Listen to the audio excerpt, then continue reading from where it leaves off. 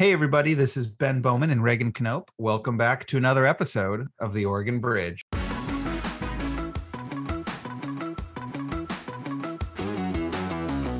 Three hundred twenty-five words, no more and no less. And essentially, you have to know exactly what it is, the totality of your campaign, couple months before each election. This is why that early deadline matters is you're trying to project what voters are going to care about when they're casting their ballot a couple months ahead of time. I do think directly delivering the message of why your opponent isn't right, I think works. I think that does generally work. This is an episode dedicated exclusively to the voters pamphlet.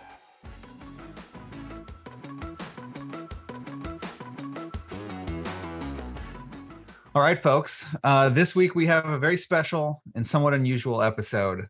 Uh, this is actually by listener request. Uh, Labor Commissioner Val Hoyle recommended this as a podcast topic, and so Reggie and I were happy to oblige because we both found it hilarious ourselves. Uh, and we know that Reg- if it bombs, we can blame Val. yes, that's exactly right. Reagan and I have spent the last hour or so perusing the voters pamphlet and this is an episode dedicated exclusively to the voters pamphlet. Uh, we're going to talk a little bit about the the background, logistics, some common strategies, but then what I think is most exciting is we've I think we've got like five or seven what we describe as the funniest excerpts. Uh, they might be ridiculous, um, they might be funny, they might be um, nonsensical, but things that uh, we find entertaining that we're going to highlight for you and then we'll talk briefly about what the themes that we see in these um, statements are and what it tells us about the state of the election going into the 2022 general election. Um, so that's an overview of the show. Uh, before we jump into some of the specifics, um, Reagan, I think a lot of people who aren't candidates don't understand how awful making a voter's pamphlet statement is. And by awful, I just mean time consuming, logistically heavy, um, expensive, etc. So, can you talk a little bit about what it actually takes to submit a voter's pamphlet statement? Yes, uh, Ben. So, um, I've done quite a few of these, and I think um, I would describe them very much like um, if you're taking like a college course or high school class and you have your midterm. This very much feels like the midterm of your campaign because it's due pretty early compared to all the rest of the stuff that's going to happen on your campaign um you know your a lot of your flyers a lot of your paid media and a lot of your activity um is going to happen in the fall but this thing gets submitted um pretty early on. So i'm looking at the secretary of state the last day to file um these i believe was august 30th um and ben you did yours so you can you can check me if i'm wrong but august 30th yeah, that's right. And in the May primary, they're due um, two days after the filing deadline in March. And so you really have to have uh, a lot of organization. You have to know what you want to say. And so I think that the main thing here is, is that you have to have your campaign. Essentially, you have to know exactly what it is, the totality of your campaign, a couple months before each election. So Reagan, really interesting note on that. Um, if you look at May of 2020, so the primary in 2020 voters pamphlet statement, I think there's like one or two candidates. I think Maxine Dexter was one who mentioned COVID 19 in their voters pamphlet statement. Nobody else mentioned it, and it was the number one issue um, that voters were thinking about by the time ballots were cast. This is why that early deadline matters. Is you're trying to project what voters are going to care about when they're casting their ballot a couple months ahead of time. Right. And uh, that's a super good point. And the other thing too is uh, that you have those really strict limits that we were talking about. So your word count is 325 words, no more, um, no less. And um, I don't believe that that includes the information furnished by you know friends of Jim Smith. Uh, I think that's not counted, although a lot of people get that confused. Um, and then you also have to submit a photograph that um, typically you want it to be 1.5 inches by 1.75 inches. Um, and there's a lot of requirements. You can't display um, the candidate's hands. It has to be a, a shoulder, neck, and head shot. Um, you can't wear a flag pin or any other identifying markers. If you have a background that isn't um, a single color, they can reject your photograph for that. So there's a lot of requirements, and uh, and the reason for a lot of these limits, by the way, um, is not nefarious. It's just um, a fairness thing nobody um, gets any additional benefit and so it's really it's a picture um, the the secretary of state put puts in all your information already from which candidate you are which parties you appear on in the ballot and all that stuff and then you're responsible for furnishing all that information below. Um, you can get in trouble for lying. I don't recommend lying in your voters pamphlet statement. You usually get um, usually get busted on that. Back in 2018 there was a house district 54 race um, with a with a republican Cheri Helt and then um, a democrat and then another candidate had filed a working families party candidate to challenge the democrat because he had some some issues in his background and then she got caught laying on her voters pamphlet statement and it became a bigger scandal um, and so it really it can cause a lot of problems so um, and then you have to submit these uh, for state candidates you submit it in a very um, old uh, WYSIWYG editor, and WYSIWYG stands for what you see is what you get. So you're kind of formatting it in there. A lot of people start it in Word, but you got to format it ultimately um, in this online editor. Um, they won't fix your grammar. So if you screw stuff up, you can fix it before the deadline, but once you hit the deadline, um, you're done, right? And so um, the other thing is some people try to file it with signatures. And so here's the kind of um, the fee structure for these, by the way. So if you're a U.S. senator or representative, it costs 2,500 or three thousand dollars to file your voters pamphlet, or you need five hundred signatures.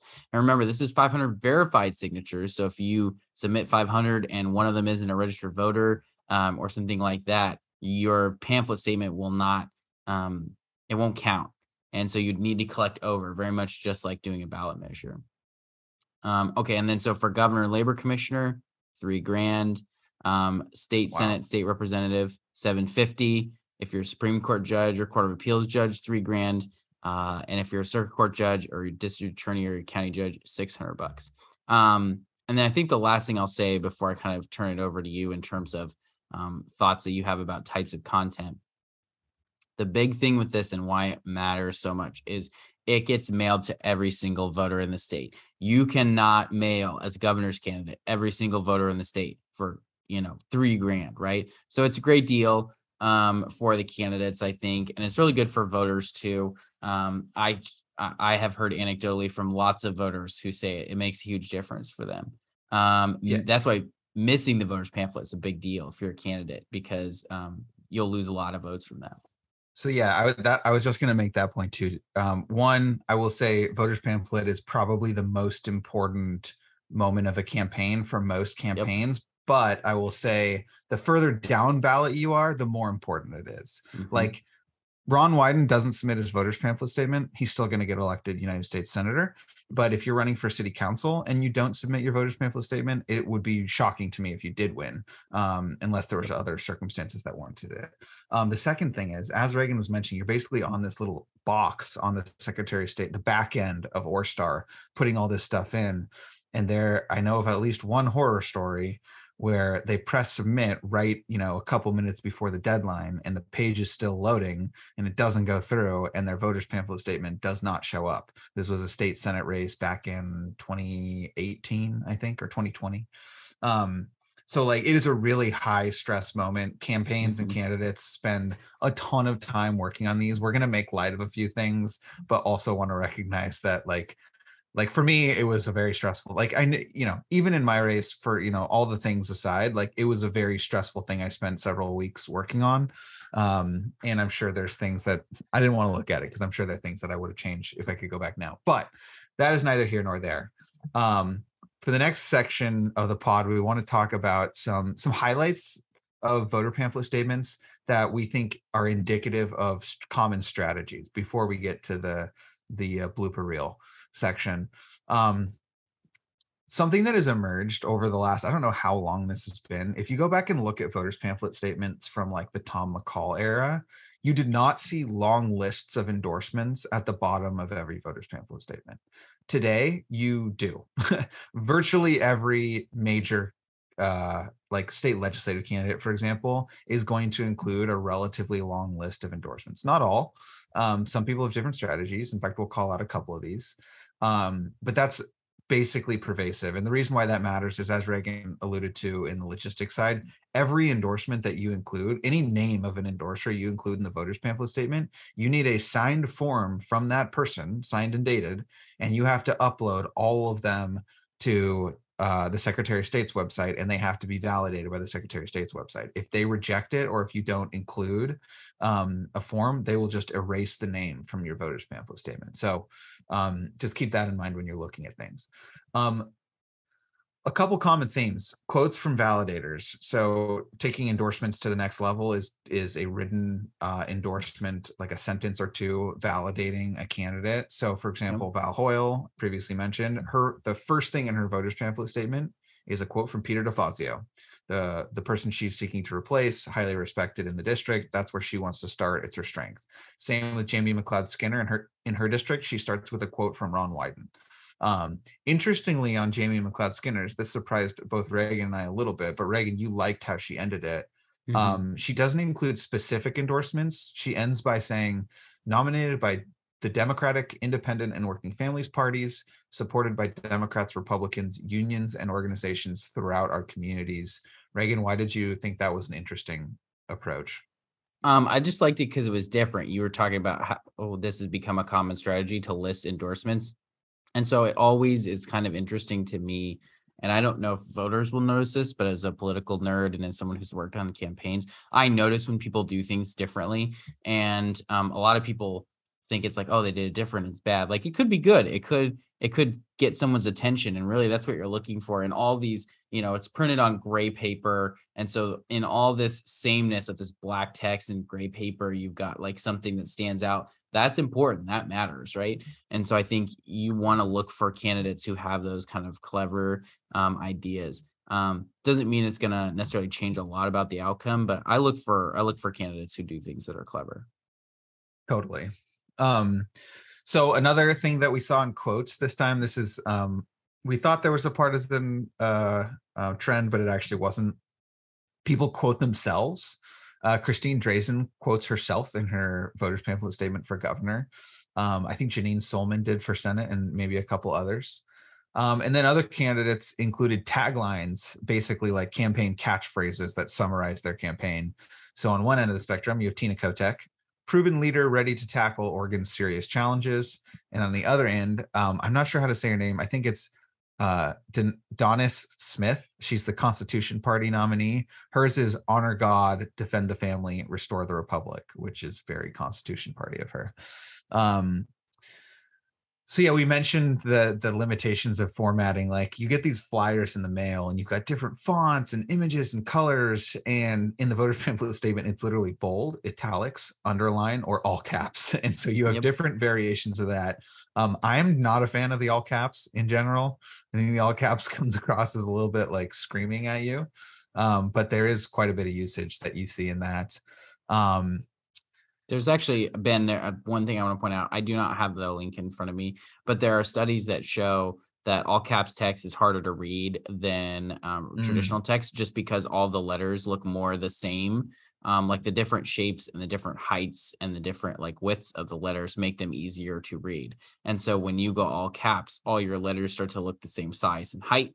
And so it, it really reduces your readability. So while I think it can look good um, as like subheaders to break up regular headers and text, um, using them as headers in uh, like formatted like that with all caps um, is I, I don't think it's a great strategy because of that readability issue. Yeah, I totally agree with that. Um, here's another one. We're not going to call a candidate out on this because several others did it, but there's one candidate in particular who is very bad. Um, in your endorsement section, what you have to remember is who, you have to know your audience. Your audience is like the largest swath of people you're ever going to communicate with, really. Um, so these are not political insiders, although there are some political insiders mixed in. So, like, there's one candidate who listed a bunch of acronyms in endorsements, and I guarantee at least half the people reading those did not know what at least one of those acronyms was. And one of the acronyms is an acronym that like three organizations have an acronym for. Um, so acronyms, bad practice, candidates don't do acronyms, um, although it does save your word count. So sometimes, like if you see acronyms, it's because they were at 327 and they need to get down to 325. Um, this is an old school thing. You see it a lot of local candidates. Um, in fact, we've had Jason Snider, mayor of Tigard, on this podcast. He gave out his phone number on the podcast. That's a co- pretty, not super common tactic, but like it's pretty old school local politics. Like if you're Yep. running for mayor, city council. Um, kudos to Bill Kennemer and Jeff Golden, um, two candidates for state senate who included either a personal email or phone number um, on their flyer. I think that's a it's a nice touch. It's a nice touch, and it certainly is going to attract unwanted emails of some kind. But Take some guts. it sure does. Uh, and then Reagan, uh, what I think of as a bold move and risky, and honestly not something I would recommend um, for candidates, is going negative in the voters pamphlet. Can you talk about a couple of the instances of folks going negative this time? Yeah. So the one I remember from the past before we get into ones that are current um, was uh, Knute Buehler's statement in 2018 is very um, taking on Brown. It was very much um, his main tagline in that election. I probably won't ever forget it. Was uh, "I will lead where Kate Brown has failed." Um, and so he put like every instant that she failed and then how he would lead. And so it was very much like a contrast um, piece. So the examples that we noticed in here Mike Erickson um, in the bottom half of his statement after talking about himself a little bit and his background and his goals. Um, he talks about where his opponent, Andrea Salinas, he thinks is wrong on issues. And so he gives three or four um, bullet points. He actually cites the Oregon legislative record too, which I think is good. Um, trying to source his stuff a little bit there. Um, and then we also saw um, Ben Edtl in Senate District 19 goes um, very negative against uh, the Democrat Rob Wagner, an incumbent, tried tying her to Kate Brown, which generally a good strategy for Republicans. It's exactly what um, his pollsters would tell him to do. Um, but it's kind of it'd be kind of interesting to see. Um, I think that's a pretty tough race for him, so I doubt that it's going to work there. But it is something to note. Um, and then Alan Stout in District Seven goes negative against John Lively and is looking to tie him uh, as well to Kate Brown. And so I think um, in places where you're kind of seeing it emerge in races that are um, tough races for Republicans or a little bit harder. Maybe Republicans are going to be the underdogs. So maybe you see them trying to think outside the box again. So um, kudos for thinking outside the box, although I don't know that that particular strategy is going to work. Um, but I tend you to. I mean, we still like to highlight it. Yeah, no, I think it's it, it is interesting. My general take is like when you go negative, when you go negative, it might hurt your opponent, but it's going to hurt you too. Um, Mhm. because and especially in the voters pamphlet, because you cannot hide who this is coming from. Like you can't like at the end of an ad be like paid for by friends of Ben Bowman. You have to like own it because your name and your face are at the top of the page. So when you're going negative, you're pretty much owning the fact that you're not even trying to rise above negative politics, that you're doubling down on it. Um, but to your point, will- like, yeah, go ahead. I will say I do. I've always been more of a fan of um, candidates delivering their own hits directly because I think it Hmm. does build credibility. So, like when I see a mailer from an outside group attacking a candidate on behalf of another candidate without mentioning the candidate, I'm like, I, I'm sure that works, but I think a lot of people think, okay, but like, what's the reason that this is appearing, right? And so I always liked it better. And I always encourage my candidates to, if you're going to say something negative about your opponent or something where you're contrasting, say it yourself. Because I think it builds credibility from voters' minds saying, okay, this guy's willing to call his opponent out. Um, so, in one sense, I think it may not work here just because of the, I think the format is the biggest limitation here. You don't have a lot of format to really draw out that opposition because you also have to be introducing yourself. Because if you forget to do that, doesn't work but I do think directly delivering the message of why your opponent is eh, isn't right, I think works. I think that does generally work. That's that's good good pushback, and I actually agree. I, I agree with what you just said. Like I because I'm I'm not saying you should never go negative or there's never like sometimes yeah. people do egregious things or like their record needs to be highlighted or whatever. Um, I think it is just the the not format the the venue of the attack just feels feels odd. But we'll see. We'll follow those races and see how they turn out. Um, okay, now to my favorite section of the podcast uh funniest moments the blooper reel of uh the 2020 general elections voters pamphlet. What All right, so I want to I'm going to front load this because yes, yes. before we deliver um these embarrassing moments, I want to talk about my embarrassing moment. So Okay. um I actually I was working for um Ben Schmuller, who's a friend of mine. He's currently running for mayor of Redmond. When he ran in the House District 53 open primary in 2018, I did his voters pamphlet statement. Um, I thought it was very good, and I'll share it with Ben and see if he agrees. Um, but in that voters pamphlet statement, we use his name quite a bit, and his name has uh, two M's in the middle of it, and I in the top reference to his name that we write. So the first or the second time that we write his name, it is missing one of the M's. And to this day, no voter emailed us about it. No one talked to us about it, but Ben noticed. And so I will never live that down. Um, so I get exactly how um, devastating it is sometimes to like see these things in print and go, oh my gosh, I screwed up in the voters pamphlet. Um, but that also gives me license now to make fun of you guys. So uh, I just wanted to give that out front. We feel very sorry for you guys, and this does not reflect at all on how we think about any of these candidates. It's just stuff that we found interesting that was Yeah, some- some of these are not bad. Some of these are actually Yes. like like I'm jealous of at least one of these. Um, but Yeah, yeah, let's, some um, of that some of them are pretty bad. I'm gonna separate um, these into the mistakes and then and then interesting stuff. So Okay, you should Um, do you should do the first one, Reagan, because we I looked at this one and did not notice it because I was just skimming, but you noticed what I would call probably the most egregious mistake of the 2022 voters pamphlet. Yes. What what was it? So and I'm I'm pulling this up to make sure I get it right. But if, for state representative in District 42, there's a Republican candidate named hmm. Scott Trahern. And Trahan, at the bottom of Trahan. Trahan, I'm sorry, Trahan.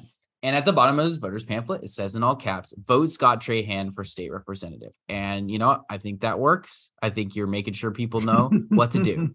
Unfortunately, in state representative district 16, a another Republican candidate named Keith Lemke, uh, running against uh, our good friend Dan Rayfield. At the bottom of his voters pamphlet, it says vote Scott Trahan for state representative. Not ideal for Mr. Keith to have all of his votes go to the 42nd district. However, I will call out, I will say this might be a Republican response to gerrymandering, and uh, Keith is just trying to shift all of his votes to Scott in another district so that he can actually win. I think Um, Rob Rob Nosse could be in serious trouble in his Mhm. Southeast Portland district because all of Lemke's votes are now going to We'll- go to Scott. we'll watch this one on election night and we'll find out uh, what happens there. So, Okay, so for the next uh the next mistake, this is a slightly smaller mistake. This is a candidate for Linn County Commissioner. Um, it's kind of funny because of what it is, the context of what it's talking about. Reagan, what was the what was the mistake? Yep. So um, in the voters pamphlet, there's a section where you can pro- provide your education background. And uh, the Republican candidate, um, current Win- Linn County Commissioner Will Tucker, um, in his educational background, it begins with Spum College.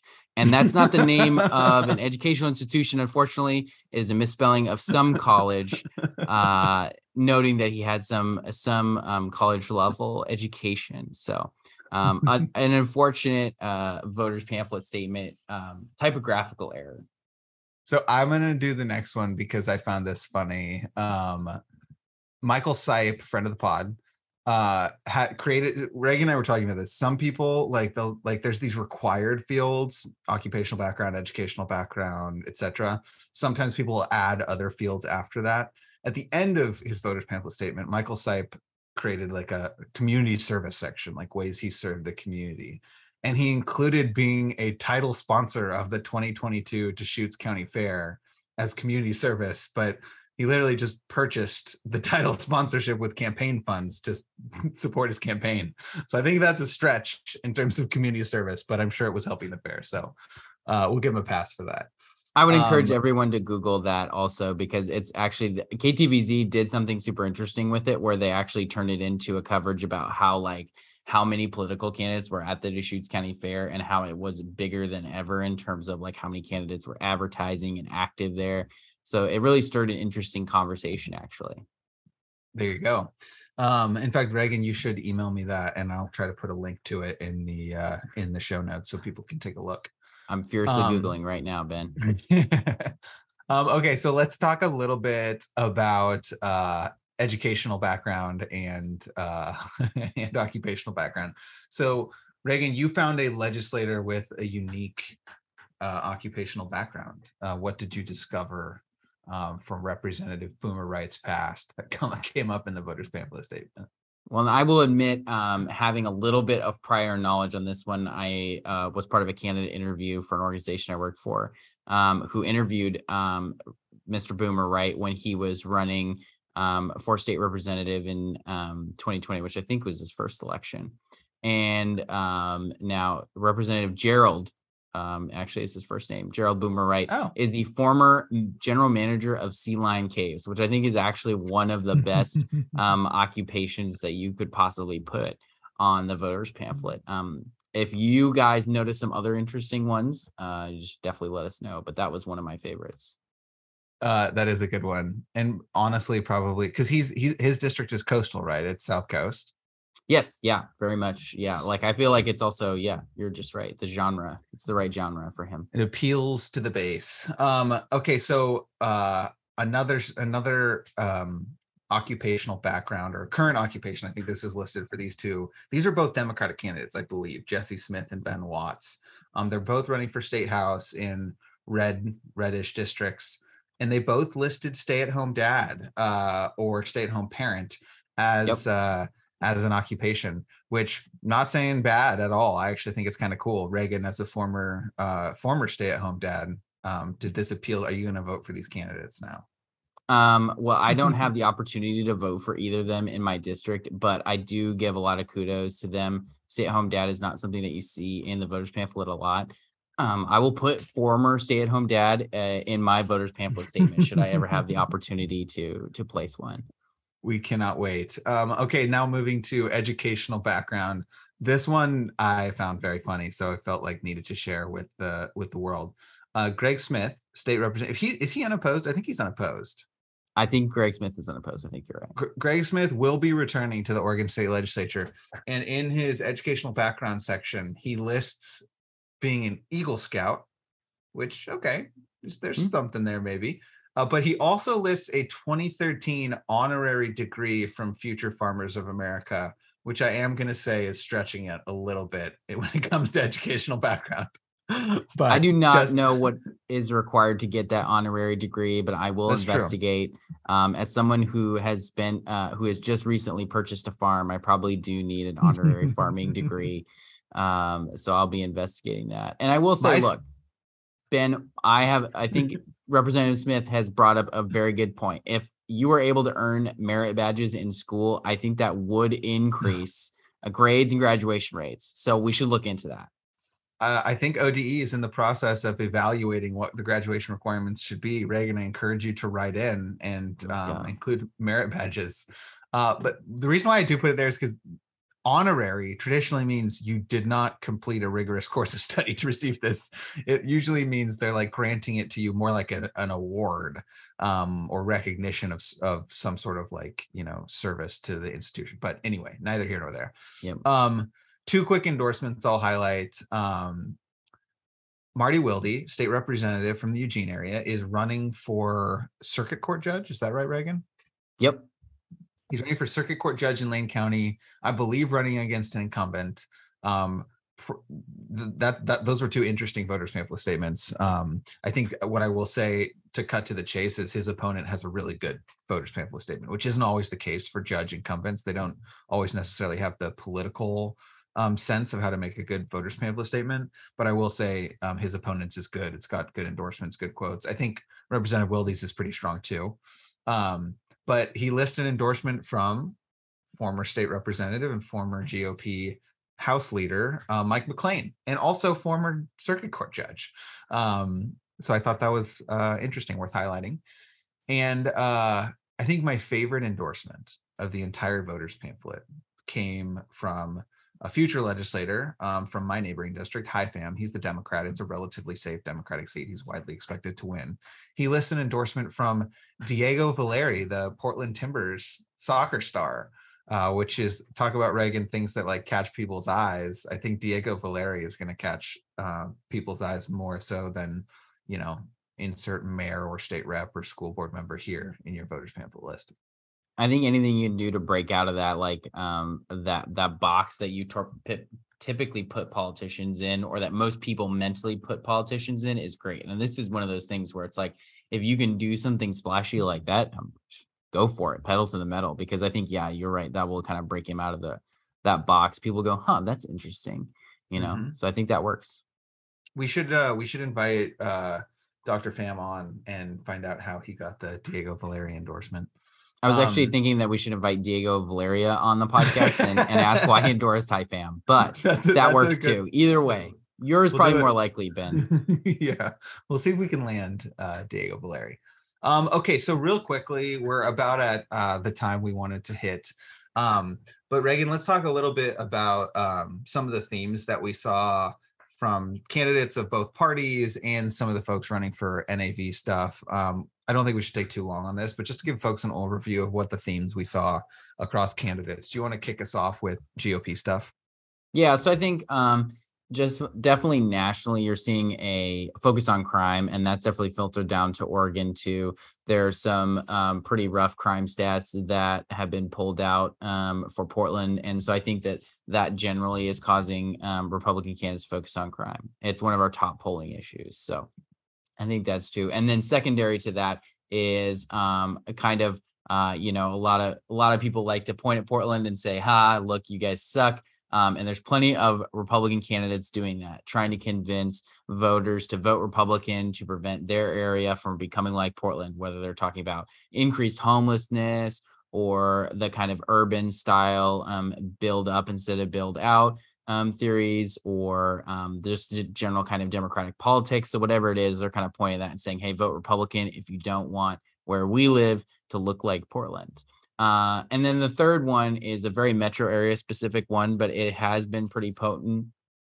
Um, the no tolling thing. So we've got this I 205 expansion and this I 5 Rose Quarter project both of them have this tolling component that seems likely to to appear. I don't know that it's like guaranteed that the tolling is coming, but definitely feels inevitable. And so um, Republicans are kind of trying to um, focus on the opposition that Oregonians generally have to tolling, but especially the Oregonians who drive those major freeways um, have to the cost of of tolling and um, really trying to oppose it strongly. I think as kind of like elect me as uh, as that backstop to try to bring an end to this tolling scheme. So um, those were kind of those three themes that we definitely noticed in the Republican um, voters pamphlet statements. Ben, what did you see in the Democrat um, voters pamphlet statements? What issues were they focused on? Unsurprisingly, Democratic candidates, um, many of them are highlighting abortion access and um, what you'll what you're seeing, like you'll always see Planned Parenthood, um, PAC of Oregon, and yep. endorsements from Democrats. But what you're seeing is that's first on the list. Um, mm-hmm. There's there's an article in this week's Liftoff that people will uh, hopefully have read on Monday or Tuesday. Um, it's from a Canadian publication, I think, actually, where it talks about how before Roe v. Wade, like 1% of Oregonians listed abortion as a top tier issue. And after Roe v. Wade was overturned, it jumps up to like 16% listed it as a top tier issue. Um, so if you're in a district where, if you're in a district where there's more Democrats than Republicans, it's probably a pretty important issue to animate your voters and show them where you stand. Um, the phrase cost of living is another um, common mm-hmm. phrase that you see on voters pamphlet statements from Democrats. Um, they're talking about things like you know cost of healthcare, um, cost of you know prescription drugs, cost of childcare, um, cost of housing. Um, that shows up a lot. Um, and then finally, like you know, interestingly, I think you know Reagan in in safe GOP seats you see like the second amendment a lot in mm-hmm. in safe democratic seats you see like gun violence prevention or climate change a lot um, those issues don't tend to show up in swing seats as prominently but they do show up depending on the district um, uh, for the candidates who are expected to win mm-hmm. um, and then finally some some a couple of issues that uh, showed up I would say more in the sort of across parties or in nonpartisan slash non-affiliated candidates. education and homelessness. Um, Yeah. both sort of like inoffensive and also really important to a lot of voters. Um, any commentary on that, Reagan? Um, I would say, yeah, education and homelessness, I think are, I mean, one, I do want to acknowledge how sad it is that homelessness is like at the very top of the list of issues for all Oregonians. It's just, it's just a massive, uh, massive problem. Got to work on um, more solving of that. And I think both parties will probably be coming to the table in the uh, next two to three legislative sessions with some big solutions, hopefully. But overall, I'd say that's one of those issues that it kind of doesn't matter what your politics are, it affects you um, because it's just dealing with like everybody's everyday life. If you're if you're you're you're interfacing with um, the homeless issue or whether it's a safety issue for your you know your businesses and kind of your more um, urban areas you still have these like medium-sized cities that are represented by republicans um, and then a lot of the inner city areas or the bigger city areas are split into multiple dem districts and so it, it just keeps bumping to the top because of how prevalent it is and then education just affecting the future generations it's super important for um, education to to be on top of everybody's list. And I don't know that Republicans always had education as a list. I think that's been more prominent as of late, um, not just with the critical race theory stuff, but just education becoming a real. Um, uh, I don't want to say battlefield in general, but I can't come up. yeah with it's a, another it's word. it's it's a it's a it's a culture war issue for sure Mm-hmm. republicans frame it as a parents rights issue which is reminiscent of what we saw in virginia Yep. um in their governor's election um for democrats it's often about like you know teaching real and accurate history um but politics aside i do think um I do think education, like this week, last week was a big week in education news with test scores coming out and graduation rate um, or graduation requirements being revisited by the Department of Ed. It is a really actually important issue that policymakers should be thinking about, not from a partisan lens, but actually like how do we improve our public education system in Oregon to better serve our kids, um, which isn't always how it shows up in a voter's pamphlet statement. Um, okay, with that, I have one Reagan- more. I actually have one more thought. Yes. Sorry. Um, in the cost of living discussion, you saw Republicans and Democrats doing cost of living somewhat, but I think that it was interesting to see what Republicans focus on versus Democrats. Democrats, like you said, were focusing on like the cost of childcare. Um, I can't remember the other ones you prescription said. minute. drugs and healthcare. Yeah. Republicans were focusing on inflation, um, the price Mm. of gas typically, and then um, the expenses of running a business too, which I think is a super interesting cross section into like, you know, the priorities that both of those types of candidates typically have, or that you generally see. It's not true for everyone, of course, but that you generally see from Republicans versus Democrats. So it's super interesting to which look is- at those approaches. which is funny because both right right? Like bo- like Yeah, both true. both right. Accurate. they just don't they just talk differently um about what people are experiencing um or what different people are experiencing. Um reagan it's 11 30 p.m uh i think it's time for us to adjourn the podcast. What i will say folks is if there's something we left out if you saw something funny entertaining or noteworthy in the voters pamphlet statements um, that you reviewed they're up on the secretary of state's website. We'll link to them in the show notes uh, highly recommended that you tweet at Reagan Knopp and really just let him know what he uh, screwed up on. That's the best way to do it. Is that right? Uh, true. If you want to go through, um, if you can find a list, I don't think it's online anymore, but if you can find a list of all the clients I've had and read their voters pamphlet statements and find mistakes, email me about them because I definitely want to know if I made a mistake that I definitely can't fix now. Um, that's the most important thing to keep me accountable in the future. Uh, all right, everyone. Thank you for listening to this week's episode. As always, we really, uh, we really do appreciate your support, um, and we appreciate episode ideas. So if you've got a topic, a guest, uh, anything you think we should cover, um, reach out to us. You can find us both on Twitter uh, or via email. Otherwise, best thing you can do to help is subscribe. Uh, subscribe on wherever you listen to podcasts. Our YouTube steadily going up, which makes our producer buddy Terry very happy. Um, continue to support, and we'll see you back here next week. Thanks, everyone. Thanks to our guest, the Oregon Voter Guide.